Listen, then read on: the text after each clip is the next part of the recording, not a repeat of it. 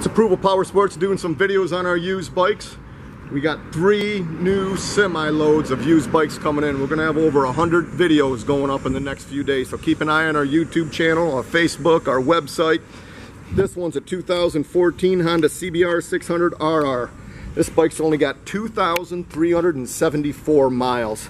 As you can see in the video, it's all stock, no modifications, been inspected, certified, and includes a six month warranty. You can't go wrong. You guys can buy with confidence. We got this thing priced right. It won't be here long. $89.99. Visit our website. It's approvalpowersports.com. We uh, have guaranteed financing. We can help ship nationwide.